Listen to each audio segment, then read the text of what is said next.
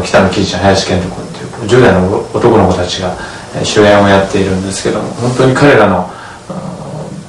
なんだろうこう懸命に生きる姿が本当にリアルに映画として映画の中のフィルムに映っているんでなんかその彼らを見てなんか元気になったりなんかいろいろしょげてることでも乗り越えて勇気をもらってほしいなとそういうようなところが大きな意味での見どころですかね。当にあのイメージ以上にこうすごく熱くて、うん、とても真面目で、ものすごく一生懸命取り組む人たちだったんですけどね、うん、素直さとかとにかくこう自分の思いとかストレートにカメラにぶつけたりみんなにぶつけるなんか素直さとか正直さとかそういうところがすごく魅力で自分は逆にそこで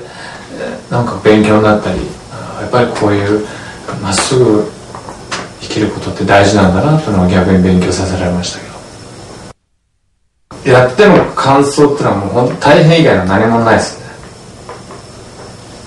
うん。これは大変なことだぞみたいな。ただなんかこう僕は映画がすごい好きなんでね。なんか映画に携わってる時間がより長くなったりそれを考えてる時間がより長くなったっていうのは自分としてはすごい幸せに感じてますけど、うん、一番見てほしいのはその今の10代の子たちに、主演の2人からなんかエネルギーをもらって、うん、素晴らしい10代にしてほしいなって